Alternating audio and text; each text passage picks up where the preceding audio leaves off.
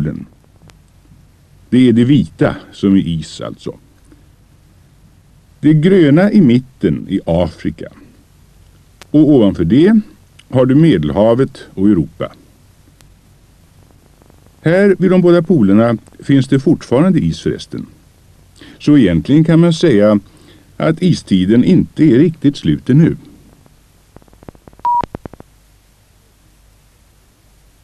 Det här är en karta över norra Europa där vi bor. Sverige ligger i mitten.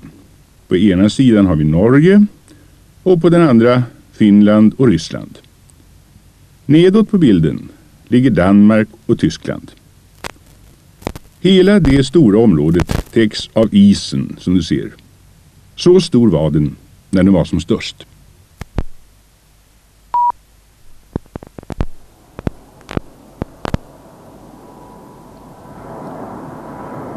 Men nu ska vi inte bara prata om istiden. Vi ska resa dit i vårt fantastiska flygplan som på några sekunder kan åka många hundratusen år tillbaka i historien. Stig ombord och sätt fast säkerhetsbältena så ger vi oss av.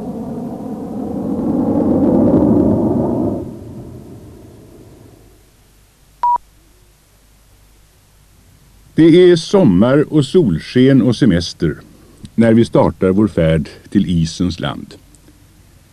Genom fönstret kan vi se hur människorna ligger på de släta klipporna. Och då får vi veta att det är isen som slipat berget på det sättet. Förut var stenarna vassa och kantiga och obehagliga. Men så kom den stora isen och rönnade av dem. Fint, eller hur?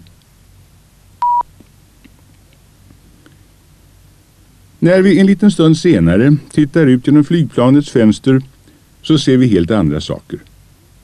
Va? Är vi redan i istiden? Vi ser isstycken stora som berg. Och på ett av dem sitter en isbjörn. Han reser på sig och tittar förvånat uppåt när vårt flygplan tjuter förbi.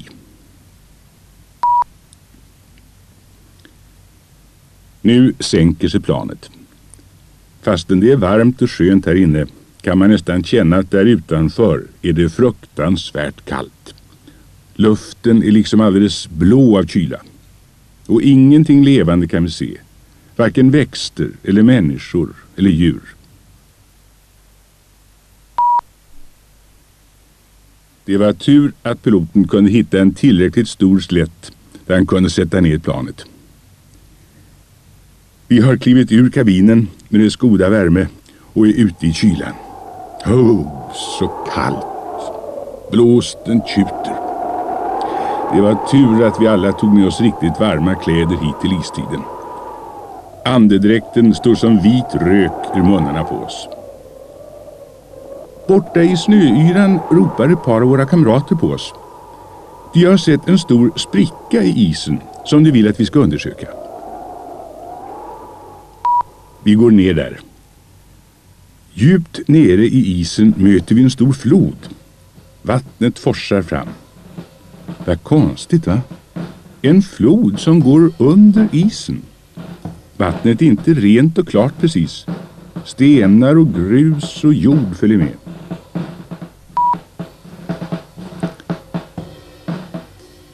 Någonstans längre bort i den stora sprickan i isen låter det som om någon borrar i berget. Undrar vad det kan vara.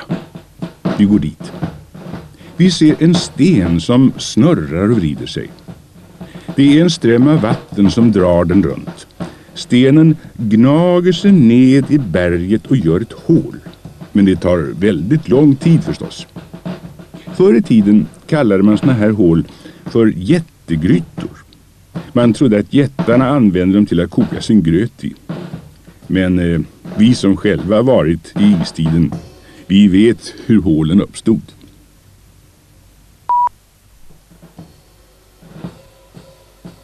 Nu har vi kommit upp från de underjordiska gångarna i isen. Men allting är fortfarande så konstigt. Vi ser inte land någonstans, bara den väldiga tjocka isen. Den står till hälften under vatten. När vi tittar ned i vattnet så ser vi liksom en tunnel.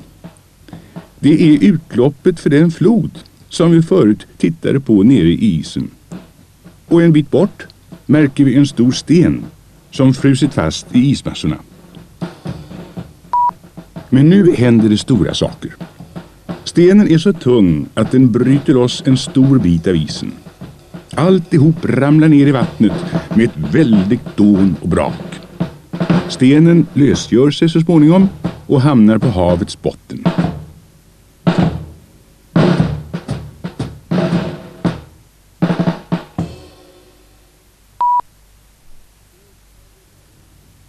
Då tar vår lärare fram ett fotografi som han hade med sig och skickade runt. Vi tittar på bilden och undrar varför vi ska titta på det här kortet just nu. Jo, får vi veta. Kortet visar den plats som vi just nu besöker. Men inte som den såg ut på istiden, utan som den ser ut nu. Isen är borta. Här är äng och skog. Här är åsen som blev av gruset som rann ut i flodens mynning. Och där ligger minsann den stora stenen som satt fast i isen. Det är konstigt att tänka sig att den finns kvar hundratusen år senare.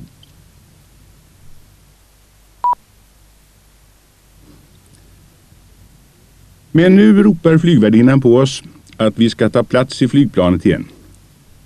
Vi trodde först att vi skulle resa tillbaka till nutiden, men det var ett misstag. Piloten körde vårt underbara drömflygplan åt andra hållet. Vi åkte bara längre och längre bort i historien.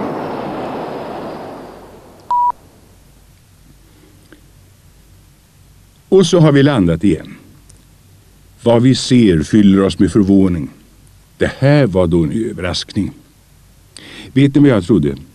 Jo, jag trodde att före istiden fanns ingenting. Jag menar, jag tänkte att istiden kom först, liksom. Men nu fick vi veta att det inte alls var så. Innan isen kom var det varmt och skönt i hela vår världsdel. Stora djur vandrade runt på grässlätterna. Det var elefanter och älgar och renar. Men oj då. Här kommer ett vildsvin som är stort som en kossa.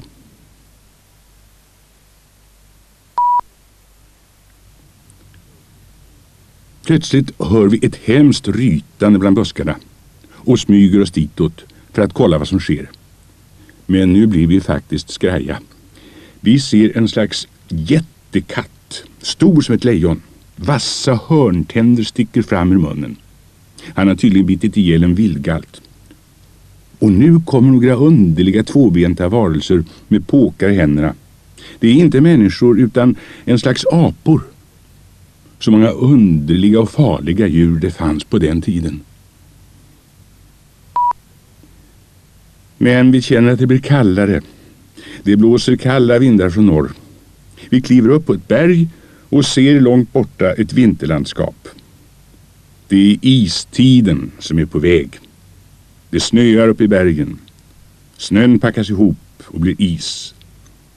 Den blir tyngre och tyngre och glider ner för bergens sluttning. Vi kan se hur isen kommer närmare oss där vi står.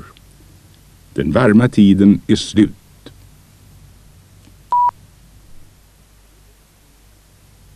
Nu blev det svårt för djuren som hade trivts bra i värmen och betat på de stora grässlätterna.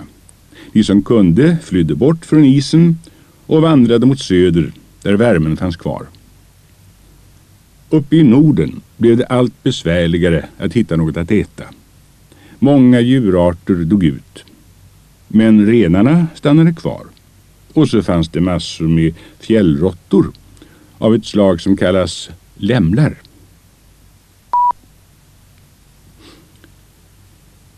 Men istället för de djur som försvann uppstod nya arter. Sådana som tyckte om att leva i snön. Det fanns en slags elefant som hade långt hår och väldiga betar. Den kallas för mammut. Det fanns också en långhårig noshörning. Och så fanns det en oxe som kallas myskoxen. Den finns förresten fortfarande kvar på jorden. Men de allra flesta av de här djurarterna är för länge sedan utdöda.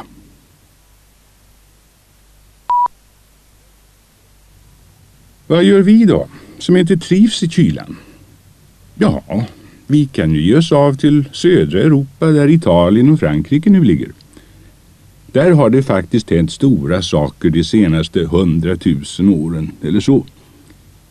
Det har kommit ett nytt slags djur som liknar människorna.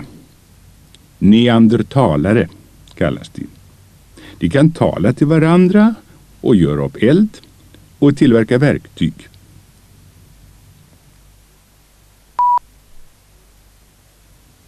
Och lite senare i vår vandring genom historien träffar vi på varelser som liknar oss själva. Nu har den riktiga människan kommit till jorden och visat att hon är det mest intelligenta av alla djur. Människan bygger hus och tillverkar vapen och lagar mat och sätter på sig kläder.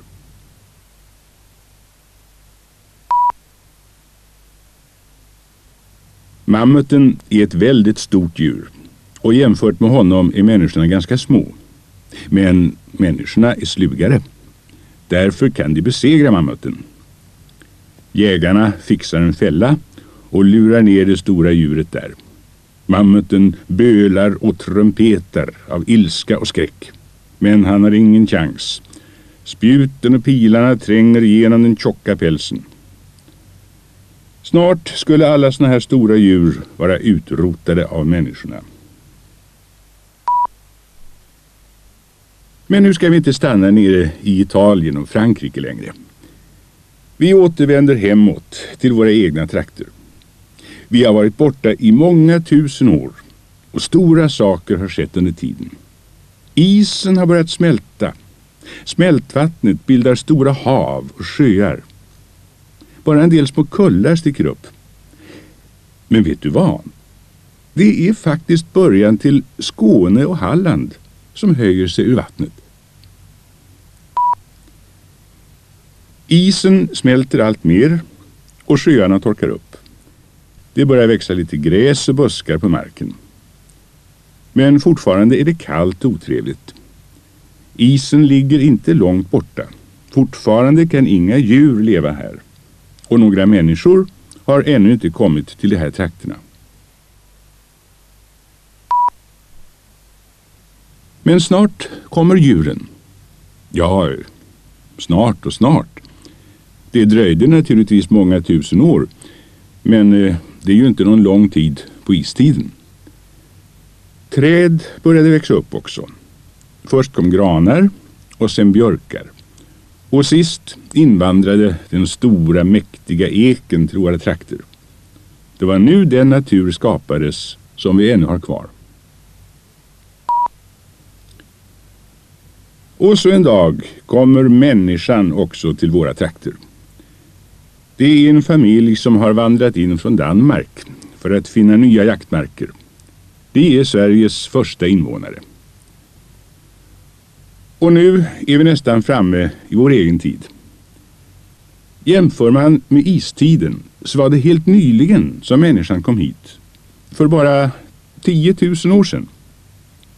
Nu är istiden slut på riktigt och en ny tid börjar. Den kallas för stenåldern.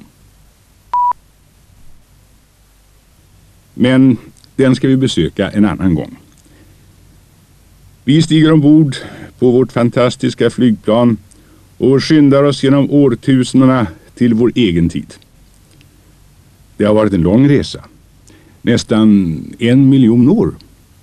Vi har sett isen uppstå och breda ut sig över länderna och sen smälta bort igen.